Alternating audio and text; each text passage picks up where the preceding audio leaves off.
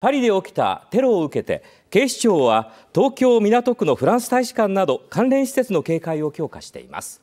警視庁によりますと港区のフランス大使館の周辺には機動隊員らを待機させるなど万が一の事態に備えて警戒に当たっているということです。また都内にある関連施設を管轄する警察署にも警戒を強化するよう指示を出したということです。